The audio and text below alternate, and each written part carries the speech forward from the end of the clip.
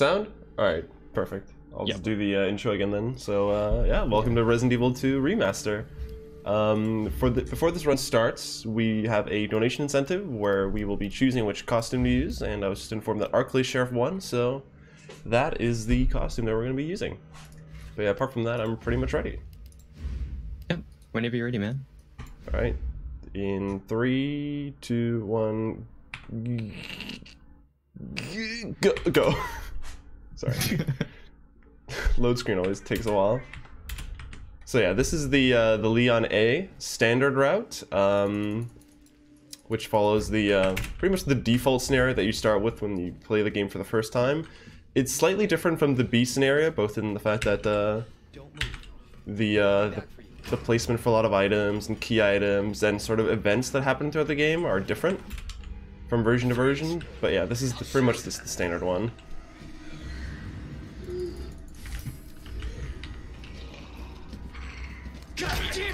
For the majority of this run, you're pretty much going to be seeing me sort of just casually playing the game, but just in an optimized way, only getting the necessary items and taking the most optimal route.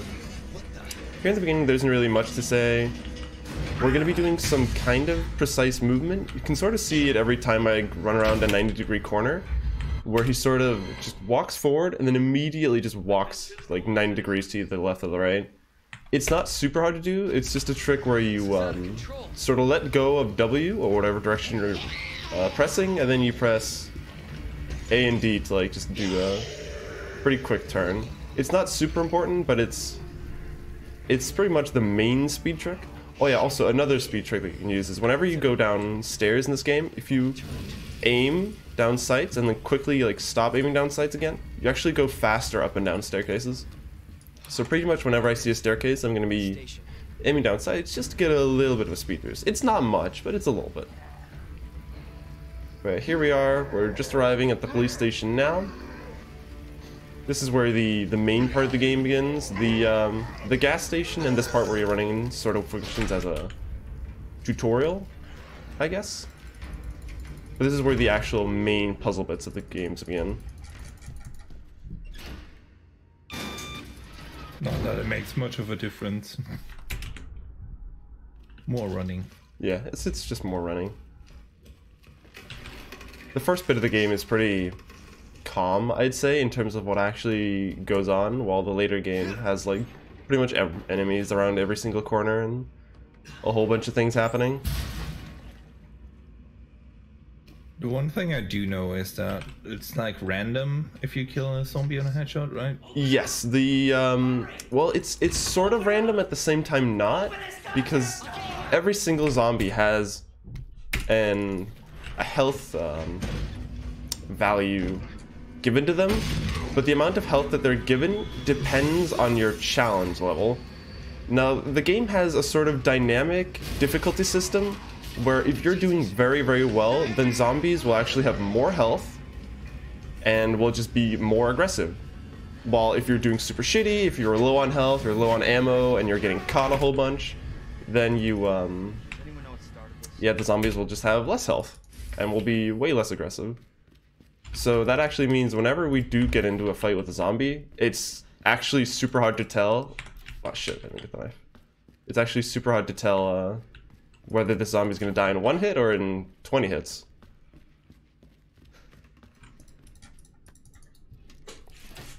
Alright, so this one knife that we actually got here is normally casually just used as an item to defend yourself against the zombies, but in the speedrun, it's actually incredibly important. Because the damage that you do with the knife in this game is actually based around your FPS. Which means, if I have a very, very high FPS whenever I use my knife, I can actually do way more damage than I would ever be able to do with either a shotgun or a pistol or anything else like that. So for Which that is- reason, normally Yeah. in the um, on the speedrun leaderboards, you would be using a capped FPS of either 60 or 120, but I don't really feel like using a capped FPS, so I'm just rocking like 150 right now. Sometimes more, depending on what the, what's happening in the Wow. game. Literally hacking. Speaking of, why are we playing on standard difficulty? The Resident Evil community is incredibly strange. The there are three It different just be like that, right? Yeah, pretty much. Because the Resident Evil community have this they have this weird idea of sort of the purity of the game and like on the premise of the game because there are three difficulty modes. There's assisted, standard, and hardcore. And it's yeah, you'd probably expect what they do. You know, enemies have more health on hardcore and standard than they do on assisted, and you also just take more damage. Also on hardcore, one thing that's important to note is whenever you um, shoot an enemy in the head, they're not guaranteed to stagger. While on assisted and standard, they every single time you shoot them in the head, they will always stagger just a little bit. But it's just enough to let you uh, pass through them without any kind of issues like that. But yeah, for some reason, the Resident Evil community just uh, all agreed that assisted is apparently a miscellaneous category and not just the standard category, despite it being objectively faster. Again, why? I don't know.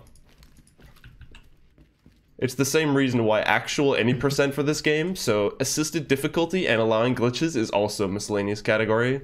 And that was just not even up for debate. That was just like day one, like, yeah, game is out. Glitches are banned. Easiest difficulty is uh, miscellaneous. Yeah. It just be like that.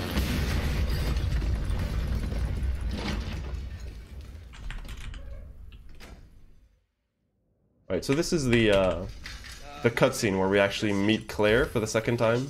We saw her at the very beginning of the game, and this is where you uh, reunite with her for a brief moment. But uh, we're not really going to be seeing her again throughout the rest of the game. Story of this game is kind of weird, I'd say. The, the game in itself is just weird overall. The main reason why there are all these weird puzzle elements in the police station, I think from a story perspective, it's because this police station used to be some kind of museum, which is why you see all these weird statues and things all over the place. But it, to me, still doesn't make any sense. But whatever.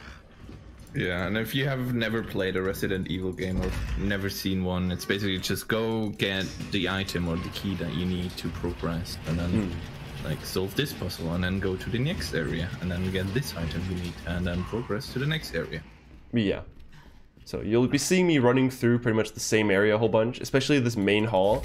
But it's because um, we often need to go to different areas of the uh, police station to get a specific item, run all the way back, get something else. Go in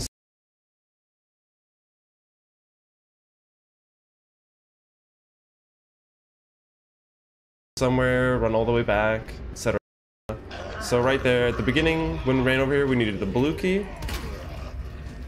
to open up the uh, the corridor or in the east wing of the mansion.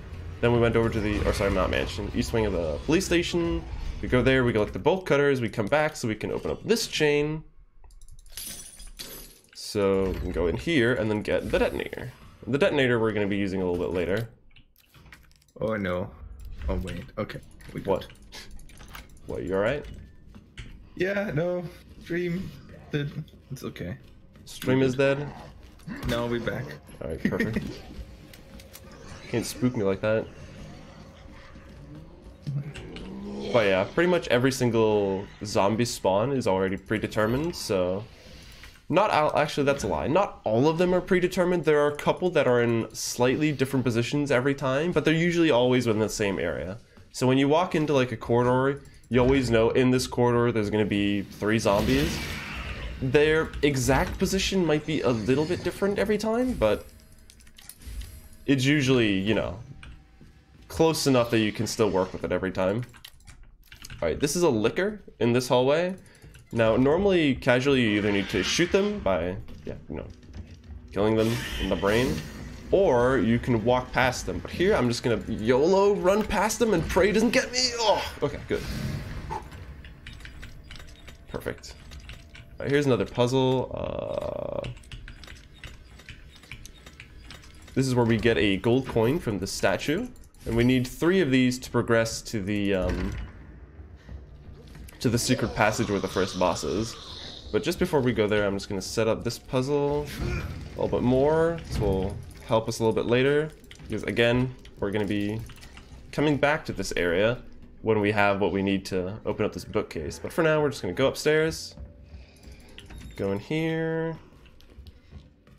get this backpack upgrade. And this is where we use the detonator. So we blow up this little hole in the wall because on the other side there's where you get one of the medallions that we need.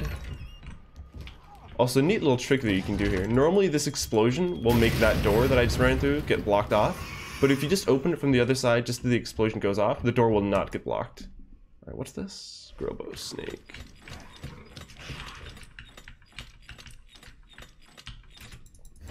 Oh yeah, do you need me to look up any of the puzzles? No.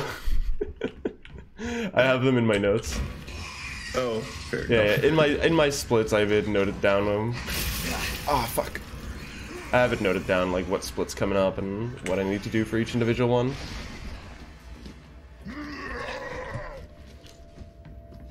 Which is argu arguably probably the hardest part of this game. The puzzles? Not the puzzles are not forgetting to pick up any items, right? Pretty much, yeah. I mean, there are also some scenarios where you want to be using your resources. So, for example, um, hold on, I need to do this puzzle. One sec. Uh, I need to branch and then bird. There. Fishbowl snake. But yeah, when you get grabbed by zombies, there's a mechanic in this game where you can use your um. No, don't examine it. Discard it. Where you can use either your knife, a grenade, or a flashbang to sort of defend yourself from taking any damage. Now, most of the grenades, flashbangs, and uh, knives that we get in the run, we actually need to use, especially knives, because like I said earlier, knife damage is tied to FPS. So because we're playing on PC, we can do a whole crap load of damage with it. So, a big thing that can sort of kill a run, or at least lose you a lot of time, is if you accidentally use one too many of your grenades or flashbangs in an area where you shouldn't.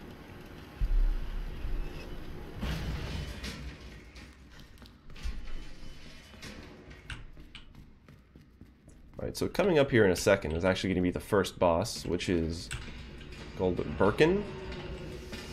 We're going to be meeting him a couple times throughout the game. He has the majority of the boss fights, where I believe on Claire, you meet him four times total, but on, well, sorry, in Claire A snare, you meet him twice. Wait, or is it, no, three times. And on the B scenario, it's four times for Claire. But we're only going to be seeing him twice here. So I'm to shoot him once in the head, and then I'm to knife him with my 100 FPS, because my FPS is dropping right now.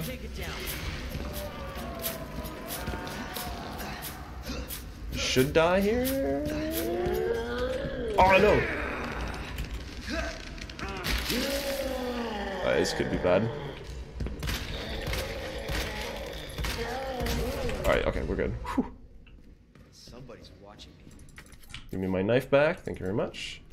Yeah, that fight was, uh, eh, not the best. Normally, when he grabs me there where I stab him with a knife, he normally is dead by there, but I think I dropped a little bit of FPS, which actually reduces my damage. So a little bit unlucky, but hey, we made it work. The most important part is that the knife doesn't break, because you might have seen when I hovered over my knife, every knife that you get has durability, so the more you stab people with it, the durability on the knife goes down, and when the durability runs out, then the knife just breaks. So every time you shank something, it um, goes down a little bit.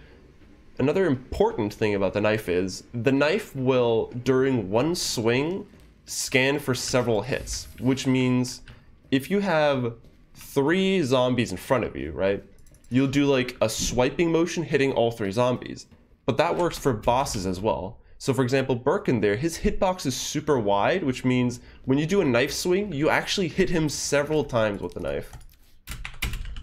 Which allows you to just burn him down super quickly because, well, first off, you're doing a lot of damage with the knife because of your FPS, and second of all, you're just hitting him several times on every individual hit for, you know, pretty much like triple or quadruple damage.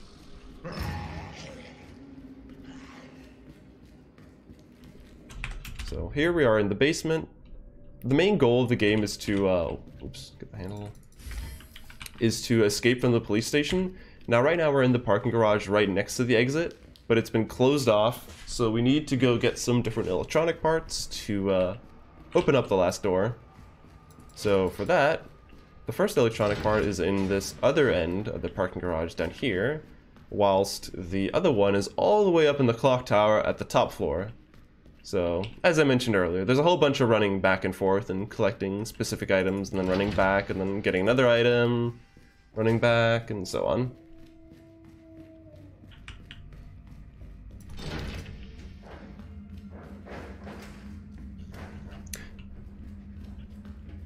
No, I'm not capped on FPS right now. I'm playing on uncapped, although regularly you'll be playing at like a capped 120. I just don't want to. Like for example, my FPS is like 218 right now. I just think something happened in that boss fight, so it just dipped down to like 100, which is unlucky, but you know. So there's no real benefit of using 60 FPS over 120. No, no, no. It's There is, yeah, just two categories, not two categories, but two labels basically. yeah. So you either cap it to 120 or to 60. All right, I remember that puzzle. Good. Nice. Got there. All right, say hello to the doggies. I'm gonna see if I can dodge this one. Ah, sad. Yeah, because when you turn the power on, obviously all the cages just open. Yeah, that's how kennels work. Every time when they have the dogs in there, they need to shut off the power. And if someone shuts it back on, they're all free. They're just out of there.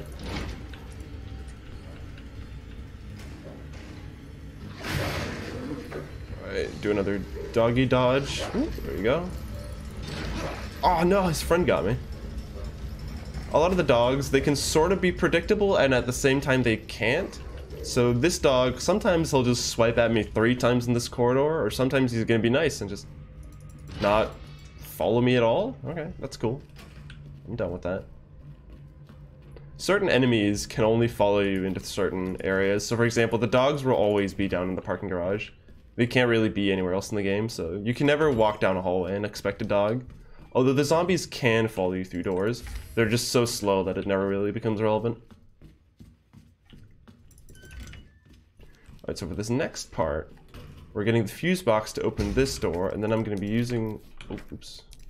I'm going to be using a flashbang here to stun these boys. Put the fuse in, open the door, and get this fresh knife off the wall. I'm going to equip this knife as sort of a backup. So in the scenario that I do get grabbed, it's the shitty knife that I use rather than my good knife.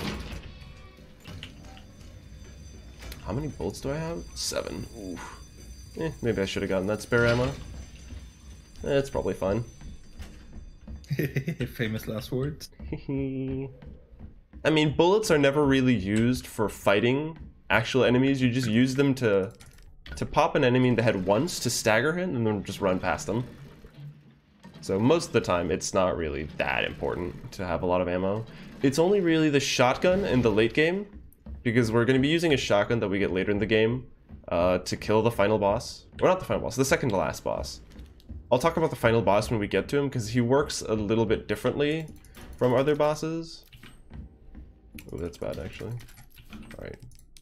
Uh, combine with that. Discard this. Yes, good. But yeah, I got some spare ammo, just in case. I feel like I can afford being a little safe here. So currently our main goal is to go outside and then put out this fire that's down here. Because this fire, that's from the helicopter crash that we saw earlier, which is on the other side where Claire is. And to do that, we need to collect the green key down here, which I believe is the spade key? Or maybe it's the clubs. I don't know. All the keys are marked after the, uh, the symbols from card games. I think the spade is blue, but I, then again, I also don't run this game, so. Fair. So as you can see here, I'm just sort of aiming for their heads to just pop once, Yes. twice, and then dip right past them.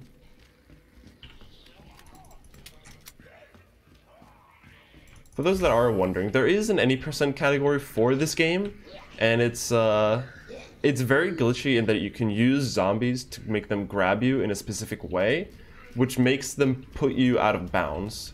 So you can skip pretty much the first half hour of this run in the any percent run by just doing it out of bounds with one of the zombies. A lot of people dislike doing it though because it's just very dull. It's doing one clip in the first two minutes, and then just walking in the infinite nothingness for like half an hour. Alright, this is Mr. X. This is the man that apparently everybody's scared by. Mr. X is actually kind of easy to deal with once you sort of understand how he works. Mr. X will always um, uh, try to do a punch towards you, but if you just sort of sidestep it by walking like an inch forward to uh, to bait out the attack, and then just take just one step backwards, then he'll immediately just retreat, and you're you're good to go. Yeah, I don't know why people are scared of him. He seems like a super nice guy. He's always there to watch your back. Alright, here's He a also looks a little bit like Thanos. Like who? Like the the guy from the movie that people talk about. Oh, Purple Thanos. guy with the glove. That guy, yes. Mr. Purpleman. The snappy finger guy. Alright, here I'm gonna touch this door for a second to actually make Mr. X spawn. Now, the reason why I want Mr. X to spawn is because in this upcoming bit, there's a licker. Well, is he gonna spawn? I hear him. Whew, got him. Because if he um, if he follows me here, it can be a little bit problematic. But I think this works fine with him being right there. Although I'm not entirely sure. Because for this next library, we're going to be using the lever that we just picked up to uh, move the bookcases around. Although I'm not entirely sure if this is going to work or not.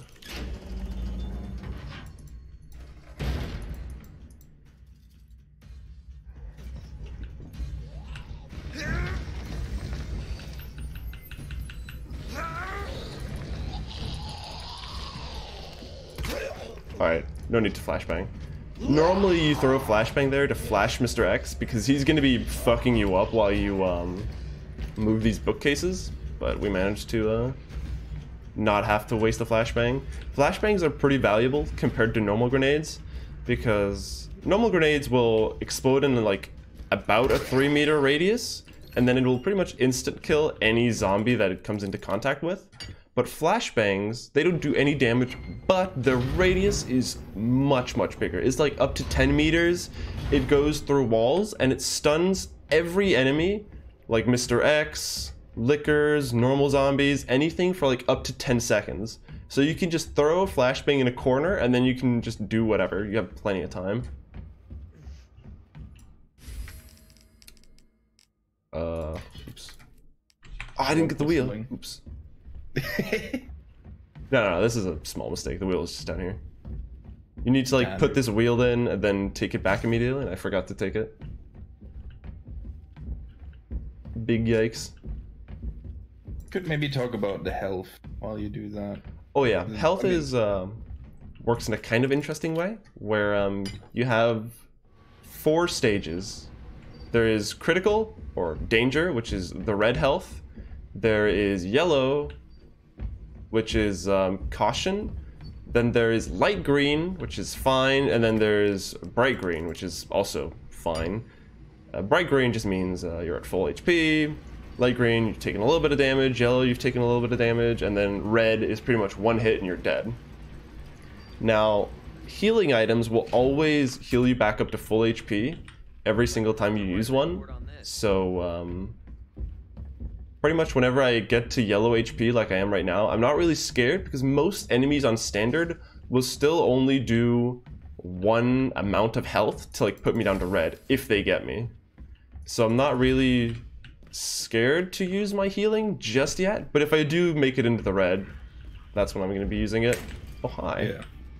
And despite those categories, there's still a numeric hidden value to your health, so you don't have like four health health and like, Exactly. one. I believe like percentage, right? Yeah, I believe you actually your health value is actually around 2400, but the amount of health that you actually have changes because again, the amount of damage that zombies do and the amount of health they have changes depending on how well you're doing in the game. So right now I think I'm doing pretty well, so zombies will actually do a little bit more damage than usual. So there are times where zombies will take you from green into yellow rather than green into light green, fine. So yeah, it's not super often that it's relevant, but it happens sometimes. Yeah. Oh yeah, there's also poison, but I think it's more relevant in the first RE game. Yeah, poison is not relevant at all, really, in this run. Well, even in the casual playthrough, I didn't ever really feel like it was needed.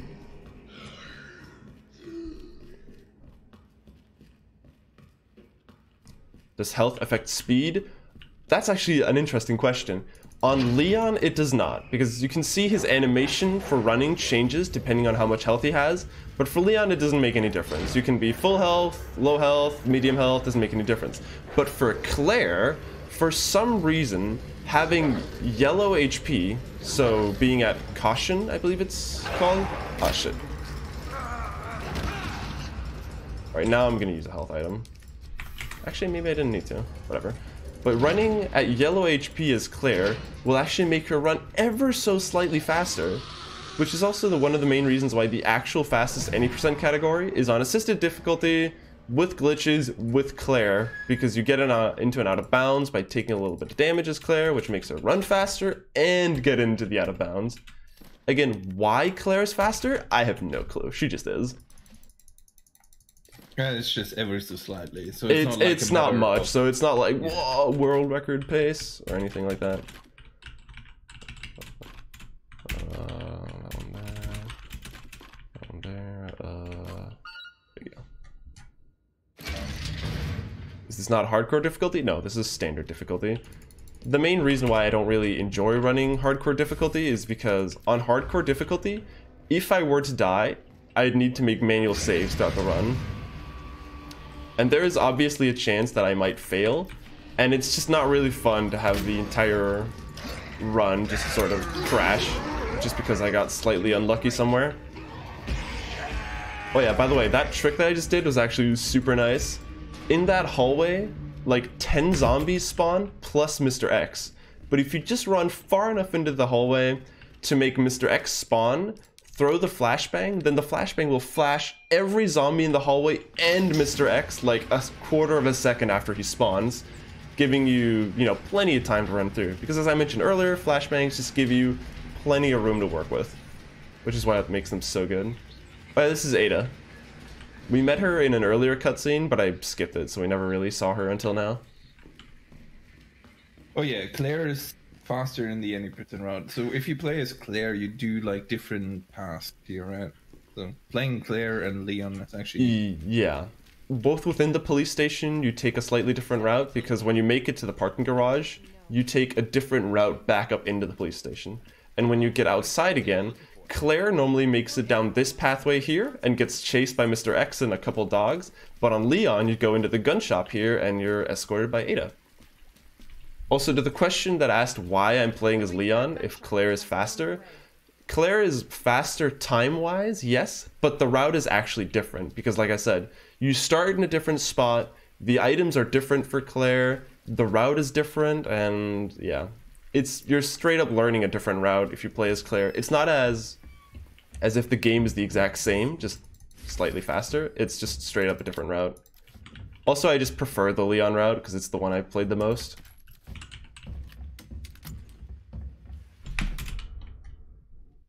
Do people run Claire or Leon more? Um, I'm not sure anymore, but back when the game originally came out, most people were playing Leon just because that's what the majority of players just has at their first playthrough. So I think they just wanted to like continue doing that for runs. Things I've seen. But yeah, it, it's it's Claire B scenario that's overall the fastest as far as I'm aware. and it comes down to personal preference in the end. Yeah. If you like playing as Leon like me, play as Leon. Some people just like playing as Claire, and that's fine too. Gee, thanks. Can't imagine a real scientist being down here. So yeah, we finally escaped from the police station and we're escorting Ada out of here because she promised to help us to learn about why everybody's turning into zombies. Authorities know it. And apparently that's going to lead us down into the sewers where apparently there's going to be a secret science facility where a whole bunch of science stuff is happening. What the hell?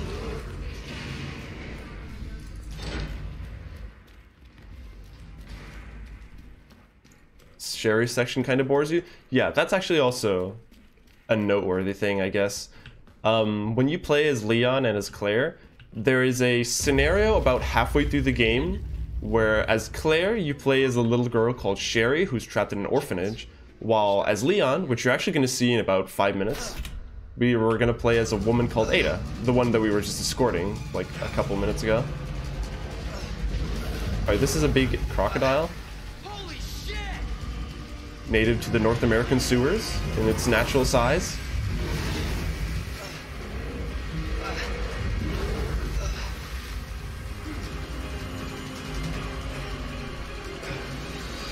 Yeah, but this is this section is sort of just a Crash Bandicoot runaway section. You don't need to hold any buttons for that; it will just run automatically.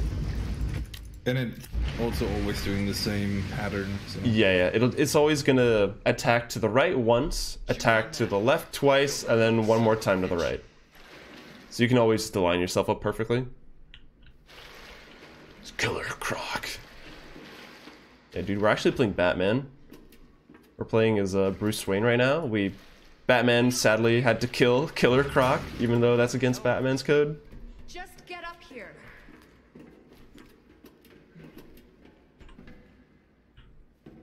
Can't say I didn't warn you. You said the virus turned people into monsters, not reptiles. Fair point. I'm just. Yeah, also due to the limitations of the categories, more or less limitations.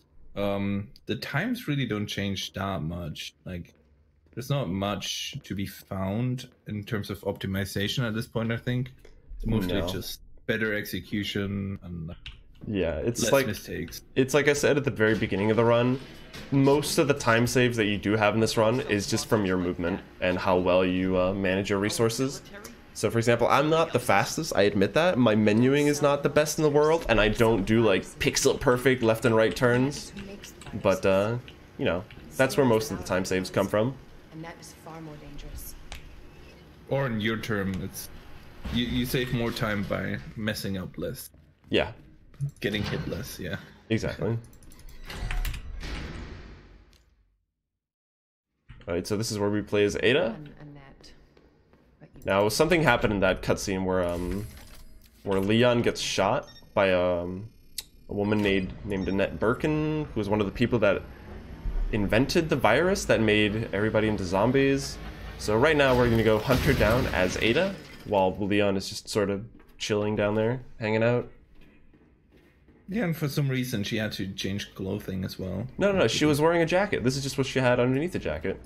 Yeah. I mean, it makes sense, Momo. Come on. Yeah. I mean, don't you wear a nice fancy dress when there's a zombie apocalypse? Every time. Love my fancy red dress.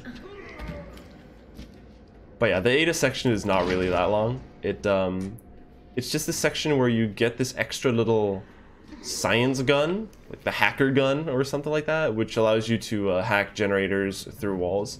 It's kind of a weird, interesting mechanic because it wasn't in the original Resident Evil 2. The same with the Ser- with the Sherry scenario that you get as the uh, in the Claire scenario, but it's just I don't know. It's nice and it's weird and it's different. Oh no! He got me. Tragic. That's a 50 DKP minus right there. Push it.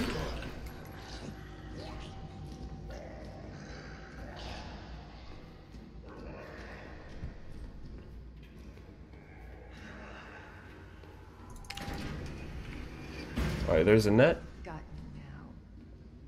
Apparently just disappears into a wall. Always been good at running, Annette. See, there's a wall.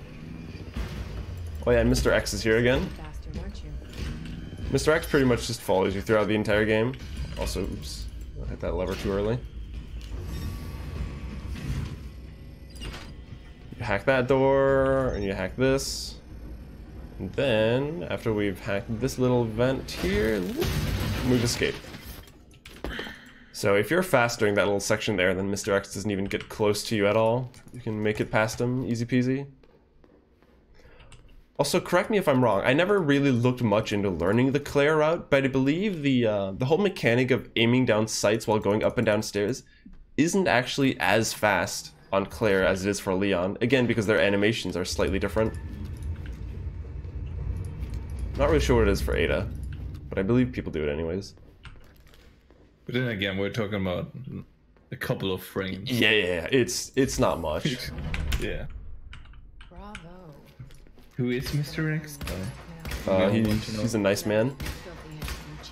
He's just there to help, and we're just rejecting him. He's the real homie. Yeah, shooting this class is absolutely necessary. I've seen every single RE runner do it, so Yeah, saves like five hours of the game. I'm seeding the RNG. Totally.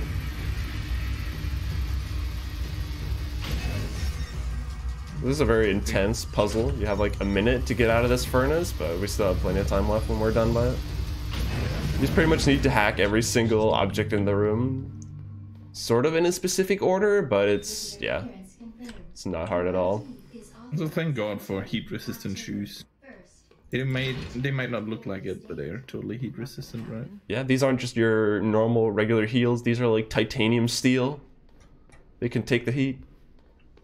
All right, so this marks the end of the uh, the Ada section, and now we're back to uh, to Leon again. So this is the sewer section part of the game, which is probably my least favorite part of the game. Not because anything that happens here sucks, just the whole aesthetic of the level design is just not really as cool. It just looks, you know, you're just walking through a gross ass fucking sewer. It's not nice.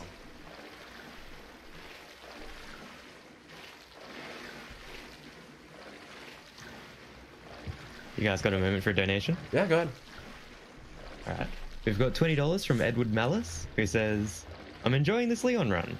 I don't know what Super Hattie 64 is, but I'm in for more fun runs. I wanted to say something. Now I've forgotten. Fuck. Bring That's Wait, my wait, to go, about that. way to go, Spring. I mean, it wasn't important anyways. don't worry.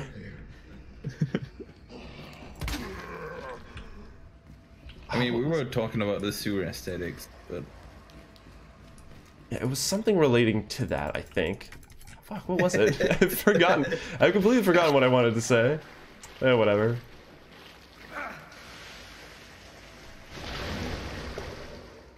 Oh yeah, up here in a second, we're actually gonna meet our our next new enemy, which I believed are called adult zombies or adult G's, which are these blob monsters here.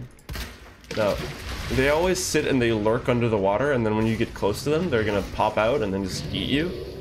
But if you just shoot them once, then they jump out of the water, and then they just sort of, you know, take around three to four seconds where they jump out of the water, but you can just run past them during that time. Because they're just sort of stuck in that animation.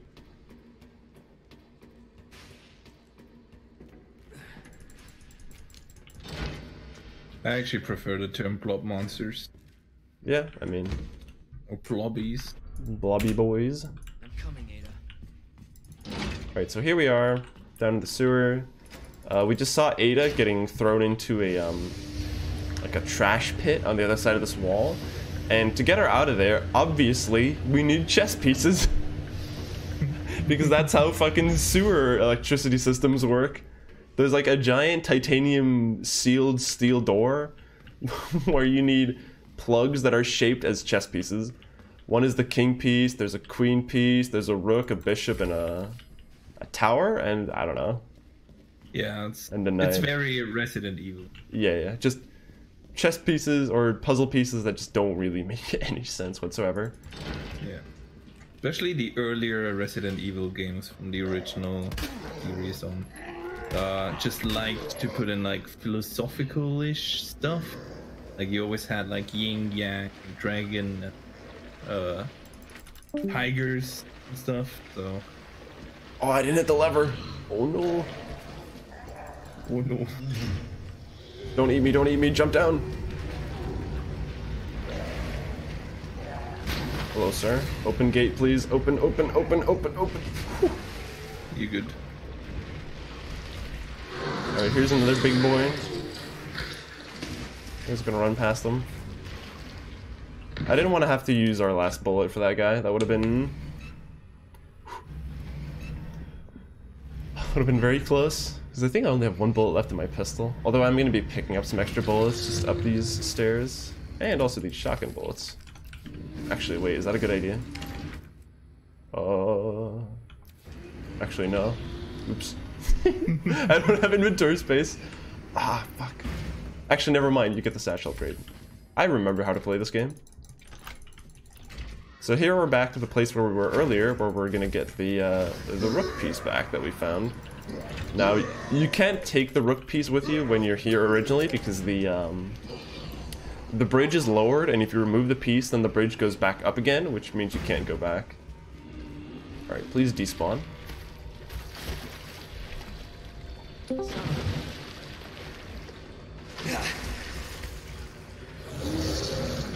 We have more donations. Hello? Hello? Hello, Spring?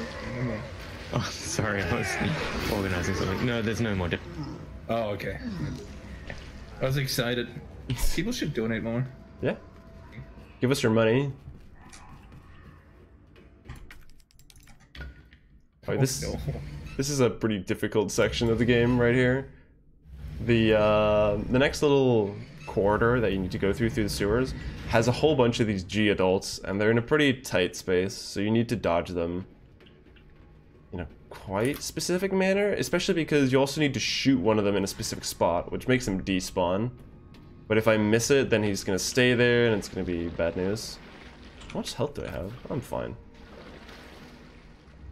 This is fine. This is getting worse.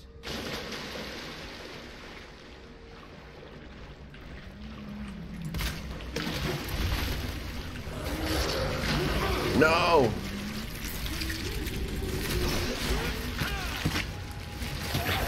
Oh, wrong item. I'll rip my flashbang. I thought I had the... What? He still hit me. Put the knife on.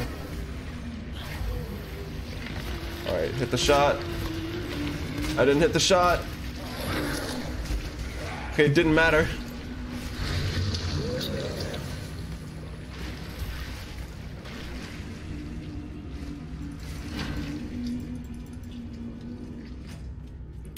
In this little section, that's where you get the king chest piece, which um, is kind of weird because there's like a mini sort of puzzle-esque section as well here, but it's kind of, I don't know, it's, it's strange the way it works.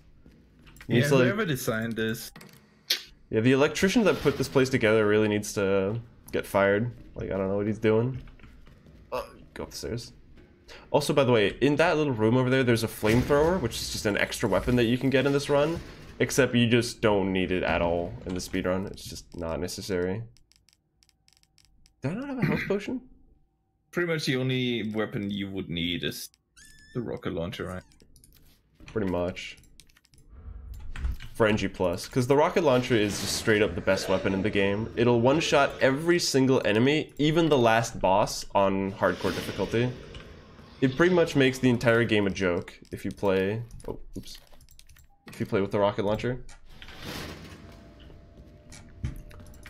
Which is, I guess, also one of the main reasons why people prefer using, uh, or playing new game, because it's just it's just a little bit more interesting to actually have to manage items and care about ammo and care about your health items because yeah with a rocket launcher it has infinite ammo it has a blast radius it can shoot a missile like every two seconds or something like that oops i need this guy to despawn Also talking about item management, sadly when you discard something you don't just drop it, you get rid of it forever. Right? yeah So you can't just drop something, then use the item you're gonna get rid of and then pick it back up. Yeah so if i pick up one too many items it could actually be kind of bad news all right i'm gonna get grabbed by this guy and then have him eat my shitty knife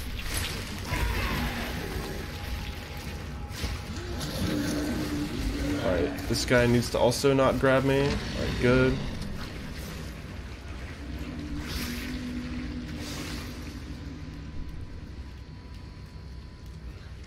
Alright, so here there's a little sneaky boy that's gonna drop out of the water.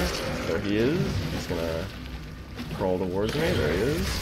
And we're just gonna run by him. I love the little animation he has where he just sort of like lurks through the water like, hee I'm gonna get ya.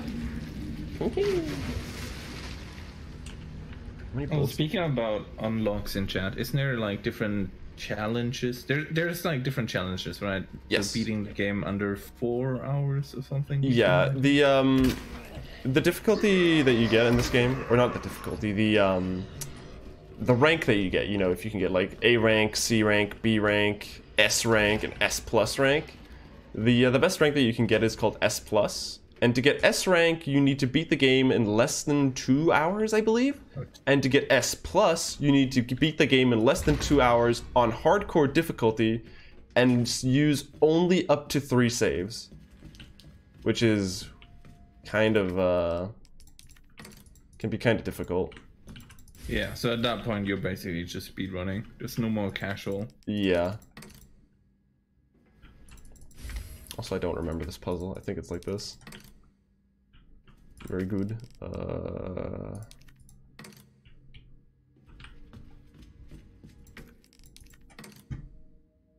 Easy. 500 IQ brain. Okay, almost there.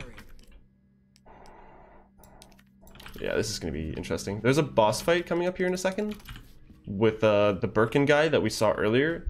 This boss fight is a little interesting, is in that it is based around two phases. First off, you need to run away from him in this little room that's coming up here, and then you need to fight him on a platform on a crane. Now, normally you need to hit him twice with the crane before he um, the before he dies, but um.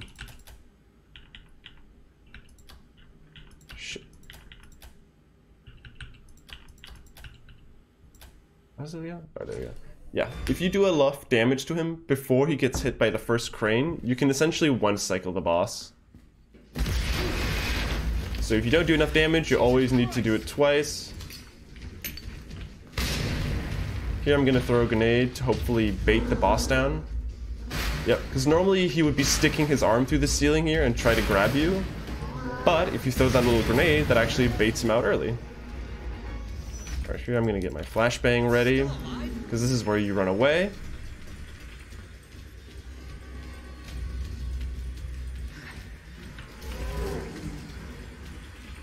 And this is the container that you need to hit him with.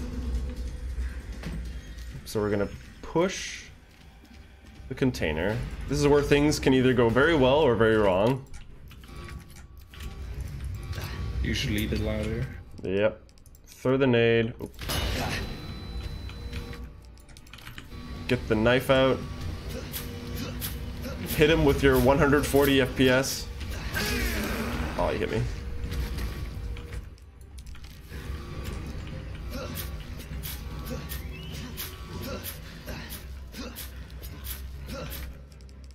Get the new knife out because the old one's about to break.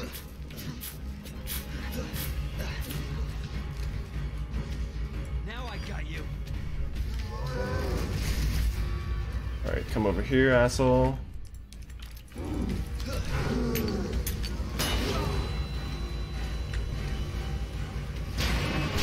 Did that work? One cycle? Oh, no, no, one cycle. Sad. Hello, sir. Do not hit me. Oh.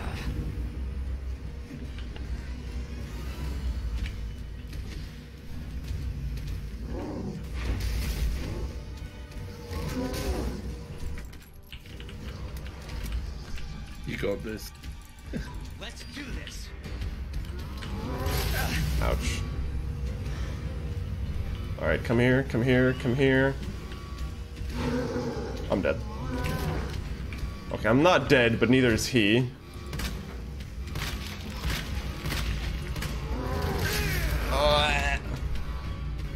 Alright, this is going to shit. Do I have any healing items?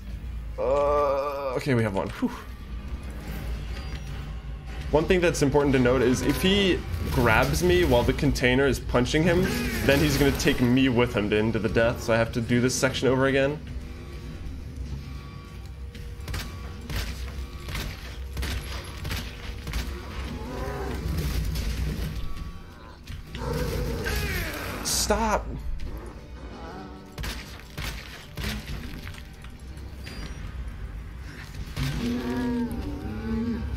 That's him. He's dead. Whew, thank god. Alright, that was a super messy boss fight, but I'm just happy I didn't die at least.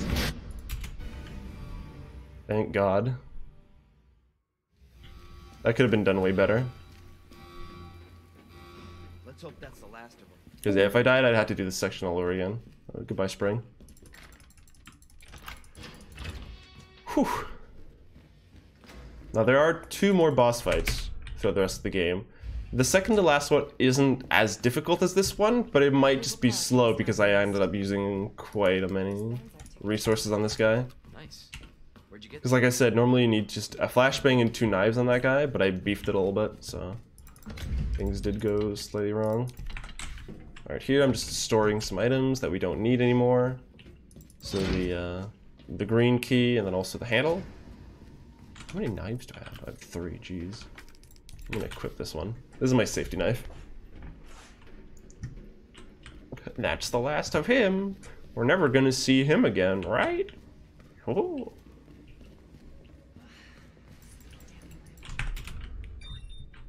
Alright, so here in the story, we're going to take this little cable car that's under the city and take it down to a facility called Nest, which is the place where the uh, the zombie virus was being developed by the uh, the lady that we met earlier, Annette Birkin.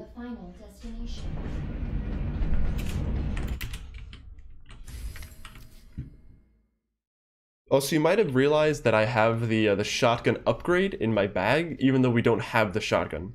Normally, you get the shotgun towards the very beginning of the game, but if you don't pick up the shotgun in the beginning of the game, there's actually going to be a shotgun in this room over here. I'm not going to get it just yet. I'm going to be taking a slight detour first. But one thing that I've actually found out is on the Claire playthrough, normally you get a, a, uh grenade launcher instead of the shotgun, but you for some reason don't get a grenade launcher in this room if you don't pick it up earlier as Claire, but as Leon you do get the shotgun if you forget it or skip it, which is, I don't know, I don't know, just weird. Alright, here I'm going to be picking up some extra stuff. Get an extra nade from this guy. Shoot this guy, take his ammunition. Run past this lady, having a nice little afternoon snack.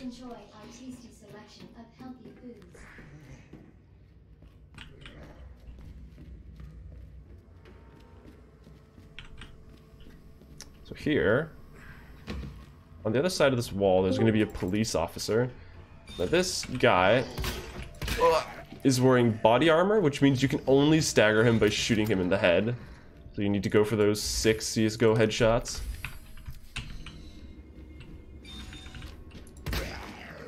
This guy's the most annoying, especially on hardcore difficulty. You mainly want to stagger zombies by shooting them in the knees because, well, they stagger slightly more often by shooting them in the knees, and there's a chance their legs might fall off. But you can't do it on that guy because he has the fucking body armor on, which makes it super frustrating to deal with. Alright, so now we have the shotgun that we discussed earlier.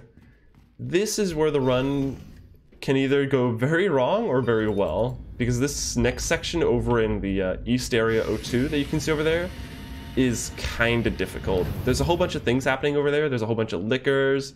There's the um, the lashers, which are sort of zombies that have been turned into plants. So yeah, time to clench for the next like 10 minutes. What kind of body armor? The good kind. The stuff that you buy for like 650 and for another 350 you get head armor as well.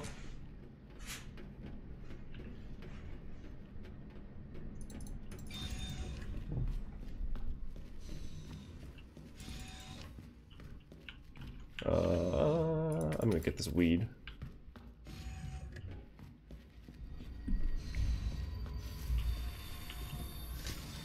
This is my safety weed.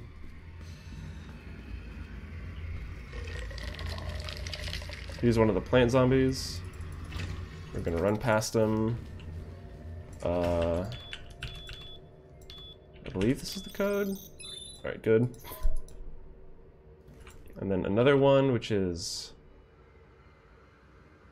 Fuck. Uh. Oh, whew. I Actually, Big fuck, brain. I actually fucking remembered them. when I did my uh, practice run yesterday, I had no clue what they were. Oh my god.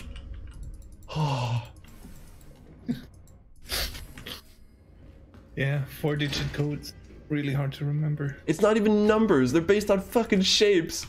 But they're on a numpad. You can't. e- I mean, Yeah, but I don't have the brain to like think of each individual finger as a number. You think I'm smart enough for that? I mean, I'm still casualing this puzzle. I don't know how this works. This this is one that's gonna hurt your head, viewers. Um, especially everybody that has played this game or runs this game. Yes. Yes. Good.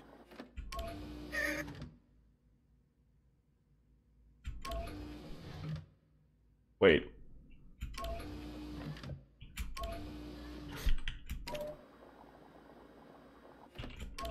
No. Go back. Oh no. No, go back. That one. Yes. Okay. Got there. Highly optimized. I am I have the master brain. Ask me what my IQ is. It's at least 400.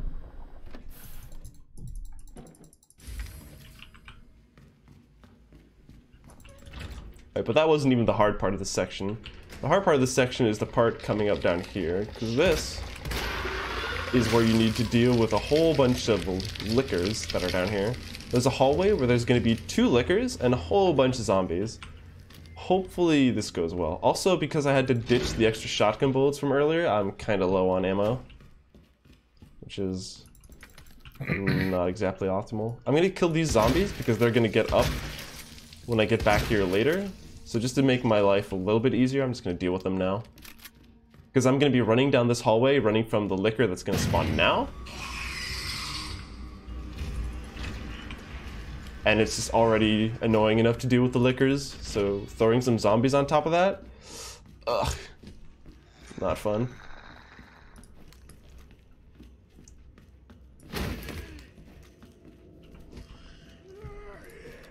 Alright, here we're gonna get a radio. And I still don't understand how the mechanics of this radio works, so... Wait, my inventory's full! No! Uh... Uh... Shitty knife, go away. yeah, you have four knives. Yeah, yeah, yeah, I should be good. You, you wouldn't have that, yeah.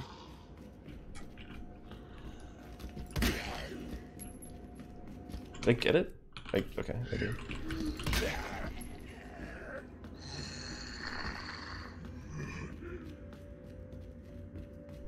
Yeah, those frequency puzzles there also very interesting. Yes. Yeah. No. It's like where you need to match the radio waves with what it says on the screen.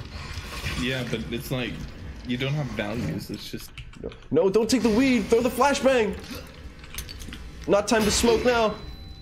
Go! Alright, go to Murph. Oh, it was there. Whew. Use it. Good.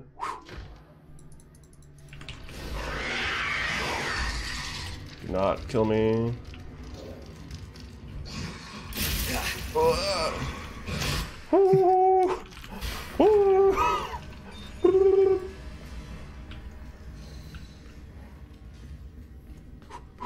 Alright. Dr. Lee. You have Like I said, that's the most scary corridor in the game. And we're not even done. We have to go back to that corridor again. Oh.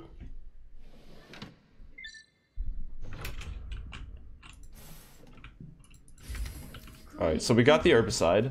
This is what we're going to be killing all, uh, all the household plants with. Because back in the room that we originally went through, where we did the uh, little puzzle with all the tubes and the liquid, we need to go back there, dispense the herbicide, and then kill all the plants in there. Alright, don't kill me.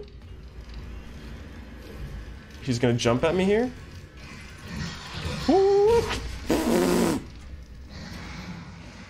Alright. Clench. Alright, I think we're good. This room is usually pretty safe. Wait. Famous last words? yep.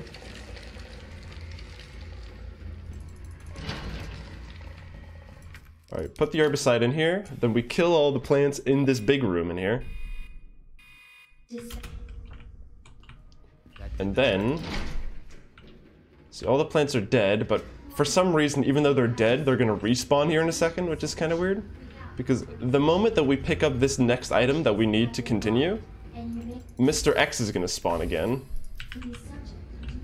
And also a bunch of plant boys are just gonna spawn in. So here's Mr. X. There he is. Say goodbye.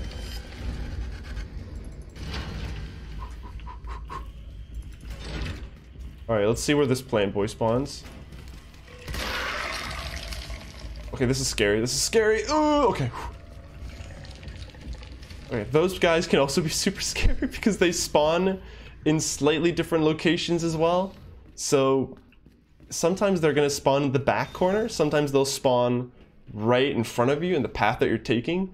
So it can be slightly risky if you just want to go for it and run past them, but if they grab you, you're just fucked. You're just you're dead. Well, you're not dead, but you might lose a knife, which you really need at this point. Because again, knives do big boy damage if you have very high FPS. I killed the weed plants. Yeah, sorry, dude. I'm actually the FBI cracking down on the weed problem in Raccoon City. This is the new canon lore. Yeah, I was wondering why you got so sidetracked. Like Leon just ends up, oh, I'm in this facility here, killing plants. now." Yeah. I mean, Leon just really hates weed. Fucking crackheads.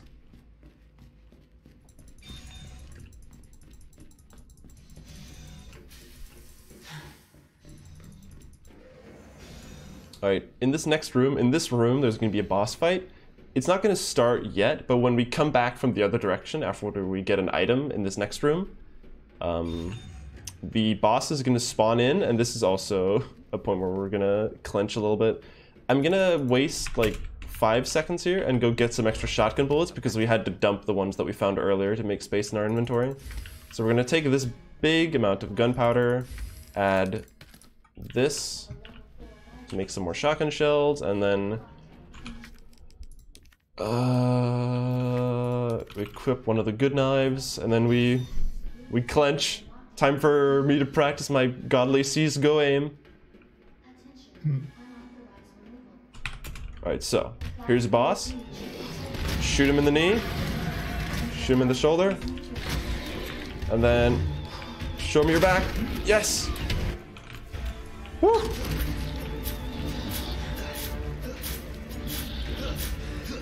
Eat my 150 FPS loser. Yeah, going on town. Two towns. One town. One. What? Kill him. Alright, and Well, yeah, now at this, this- is this is where we chuck all our nades at him.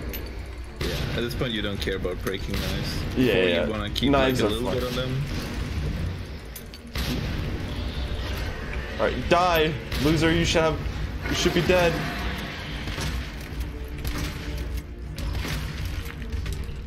He's not dead! Alright, I don't want to waste my shotgun shells.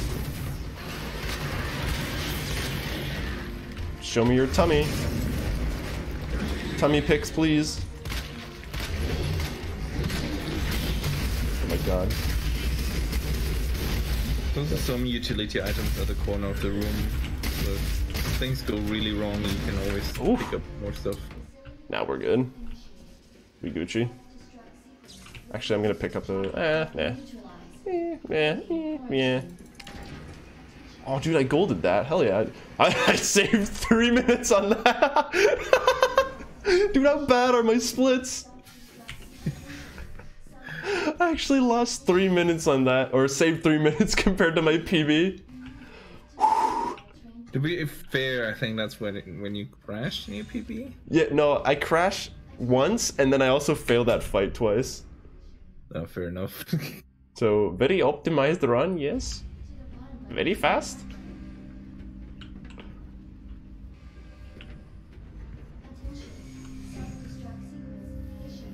Alright, so this is the end of the game. You can sort of see the uh, the timer at this top.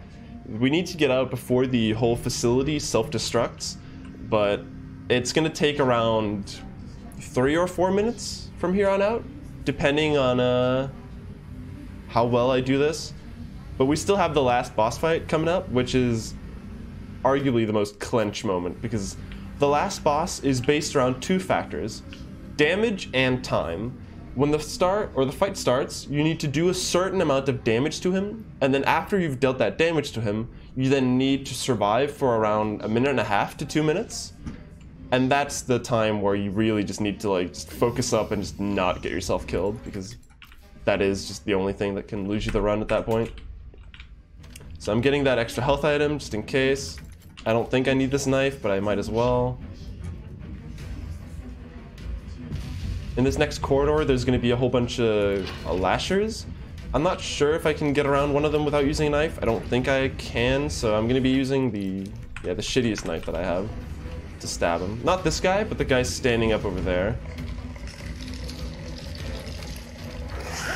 Grabs me, we knife him. And there should be one of his friends over here as well. Maybe we can dodge this guy if we're lucky. We can. Nice. Good. Grab some more weed, just to be on the safe side. Is he gonna get S rank? Yes. This, unless I somehow lose an hour here, in the next, to the last boss fight, we should S rank this. All right, here's Mr. X. Hello, sir. Goodbye.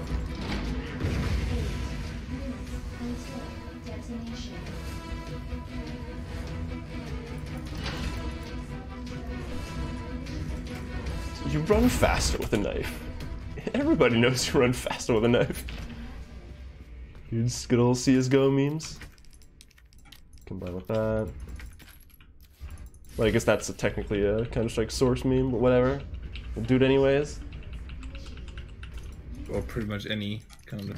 Like, Nah, this is... Pretty sure this is Counter-Strike. Alright, this is Mr. X in his final form, and we're gonna knife him to death. And pray he doesn't kill us. Ooh.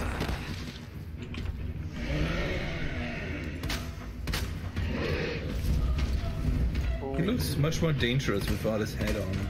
Yeah, I mean, he looks super cute with his hat. Oh, but yeah, I think we're at the point. Yep. We've done enough damage to him at this point. I'm just shooting him to maybe stagger him every once in a while. So now we just pretty much need to survive for like a minute and a half.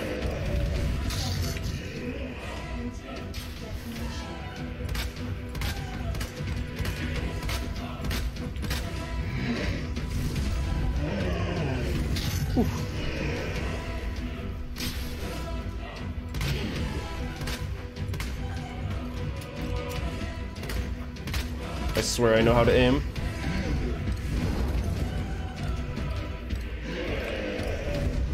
Also, the reason why we really want some shotgun shells is he's gonna do a move at some point. Yeah, here it comes. This is where he does a charge attack. And if this charge attack hits us, he will one-shot us, regardless of how much health we have. If we are at full HP and even playing on assisted difficulty, that attack will one-shot you. So you need a shotgun shell to stop it. Alright, nice. Oh, don't die, don't die. Woo! Alright, whew, we did it. Alright, time's coming up here in a second. We have our fancy rocket launcher. We're gonna kill these last zombies, and then the moment I get onto this train is when time is called. Oh man. And here we go. And time. Whew. GG. You're on this. That was underestimate. Yo, you owe me another burger. Save yourself a couple, um, a minute. well done, mate. I should pee me. I Oh, pee me. me? I did pee me. Oh my god. Maniacal laughter. Jesus Christ. Oh. one minute, or sorry, one hour, six minutes, 53 seconds. Ah. Oh man. So yeah, that was a Resident Evil 2 remake. Like, let's see uh, if I can get the uh, the final score up on screen here. It should say here towards the end, after the credits. Yeah, somebody wanted to know if you're gonna get an S rank. Yeah. Ooh, S plus, S plus rank. Hey. There we go. So uh, feel free to use this as a tutorial if you too want an S rank on standard difficulty. Although, as far as I remember, standard difficulty only gives you an SMG with unlimited ammo. Um, which is, well, that's still good, but the rocket launcher is still the go-to New Game Plus weapon. But yeah, that was uh, Resident Evil 2. I hope you enjoyed. Uh, if you want to see another run with me, I'm actually going to be doing one a little bit later today. I'm going to be doing a co-op run of Divinity Original Sin 2, along with Mr. Walrus 3451, and uh, yeah, it's a fun run, so...